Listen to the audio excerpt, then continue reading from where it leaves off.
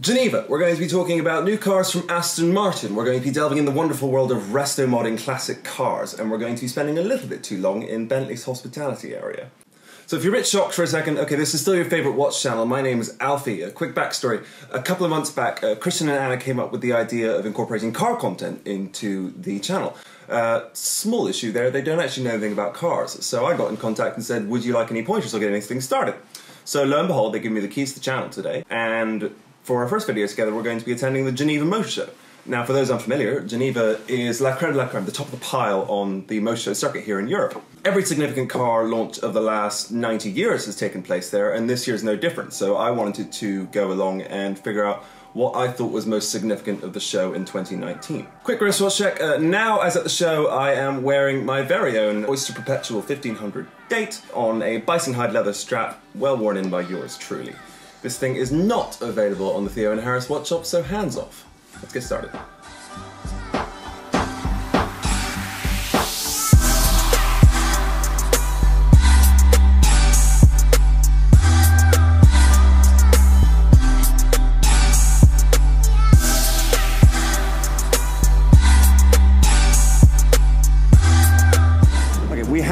About Aston Martin because I think what they're doing here is very, very significant. If you're used to Aston Martin doing the standard sort of James Bond front engine Grand Tour type of thing, this comes as a shock.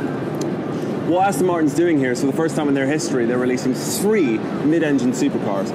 This is hotly contested territory because it means they're taking direct aim at both Ferrari and McLaren and doing so in spectacular style. I'm very impressed with what they're doing this year, but this is a very, very big deal. This is sort of um, persona non grata in, in terms of the car community. You don't take direct aim at Ferrari like this, but I'm really, really glad they did because Ferrari need more competition at. They're resting in their laurels. Anyway, brilliant.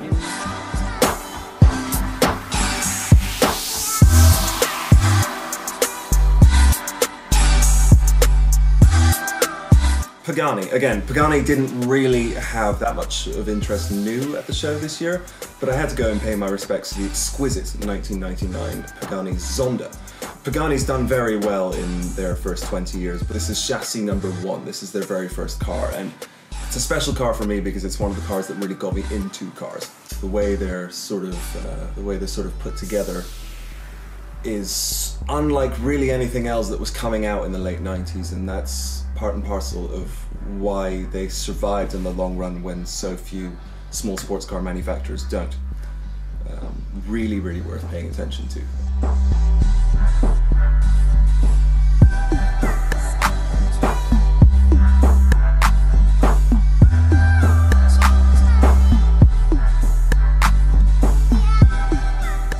In terms of the cars on uh, on Bentley's stand, I think the most interesting thing they had there was a delicious 1920s Bentley. This sort of thing, it looks it looks like a lorry, it looks like a sort of vintage uh, hauler or something like that. But this is actually a race car. This was a very successful race car in the 1920s. This is from a sort of era where it was sort of a, a, a toss-up between whether you were going to win with the biggest engine or the lightest car, and Bentley won with the biggest engines. Manufacturing methods have been invented since that prevent this sort of thing from being feasible now. So what you're looking at with all these hand-built components and heavy steel axle pieces and that sort of thing, that's never really going to be done again. The old cars are really good fun, but what we're looking at behind us is the Mulsanne. This is peak Bentley today. Very expensive, very well made, loads of room, extremely ostentatious.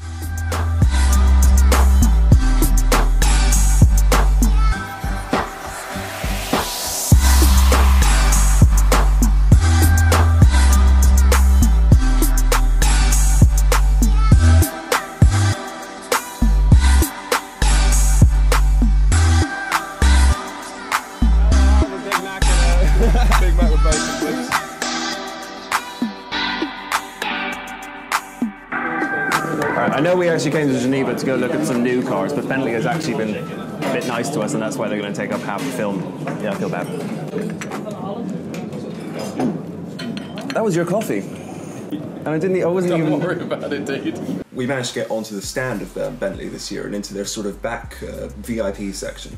Uh, don't ask, I haven't bought a Bentley. This is uh, this is really thanks to a friend of mine called Harry, who's got an uncanny ability to finesse the right sort of people to get into this sort of thing. So I'm afraid, although I went there to see the new cars, I really spent quite a lot too much time in the Bentley area because they were being very nice to us. But this was an interesting sort of uh, uh look into the customer experience uh, section of things for this sort of high end of the market. The, the Geneva Motor Show borders on Geneva Airport, by the way. A, they've got a special set of stairs in on their stand that lead directly to the runway for this purpose. Idea is that if you're an expectant customer, if you're uh, taking an order on that day at the show, you you would land most likely in your own plane, um, be picked up on the runway, and driven directly into the back entrance of the show. Up there, there's all manner of free bar loveliness that we. Uh, we found ourselves among a number of Bentley owners and we didn't really quite fit in, but you know, fake it till you make it. Uh, let's stop messing around in the lounge now, guys. Gonna go look at some cars. What? Generic Vlogger 12, guys. We got kicked out of Bentley for drinking too much of their coffee. Not clickbait.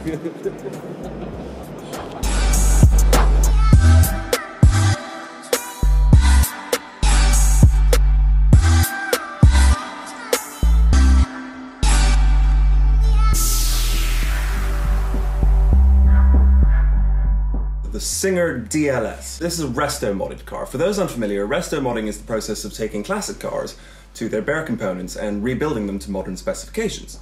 Uh, no one does this better than Singer. So if what, if what you think you're looking at is a 1971-ish 911, you're wrong. This thing was built last year, completely in carbon fiber, with an engine from Formula One legends Williams.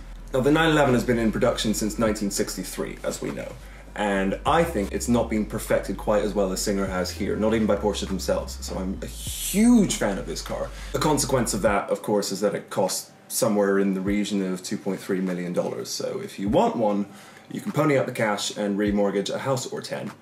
Brilliant company Singer. They also make watches, by the way. Last year they debuted uh, they debuted their chronograph. Now this isn't just some recased ETA movement sort of generic, what have you. This is their own movement that they commissioned and developed over a period of 10 years. Very, very interesting piece. You tell the time sort of around the, the, out, the outside of it, like a, sort of like a jump hour, where the sort of the discs around the outside rotate to tell you the time. And that's so you can sort of read it as you're driving. It's a driver's watch, and that leaves the center of the watch open to the chronograph functions. Really, really worth checking out if you want to go see that sort of thing.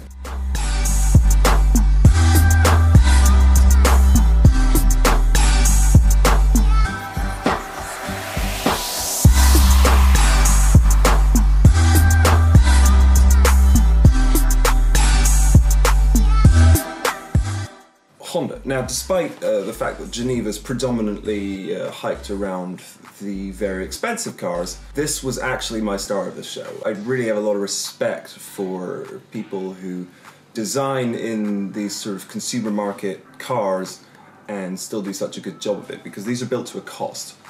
Now, if you know Honda right now, uh, you, will know that much of their stuff of the last five, ten years has been particularly sort of vulgar and over designed. It feels as though they've sort of lost their way, and um, that's why this car is so exciting because it's Honda getting their mojo back. It's an electric car as well, so that bodes very well for the future of sort of electric consumer cars. If you had your heart set on a Tesla Model 3 last year, you may want to have another look at Honda because that really is spectacular. I think the reason why that excites me so much is because the Zondas, the Bugattis, uh, the, the, higher end of this thing is, is all very fun to look at at the motor show, but it's not really something that's going to be decorating your residential street. For that, we're stuck with the standard crop of small hatchbacks and uh, cheap cars.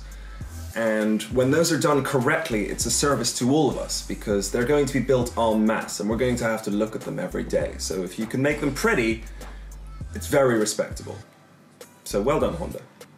All right, we're looking at a broken man here. I've been walking for about 12 hours. It is a marathon, Geneva, but it was absolutely amazing. No, I'm chuffed to bits with my day. I absolutely recommend it. The Geneva is the Baselworld of cars, and it is a trek, but it is a hell of a trip. All right. I have been Alfie for Theo and Harris. Thank you for watching, and I will see you later. Bye bye.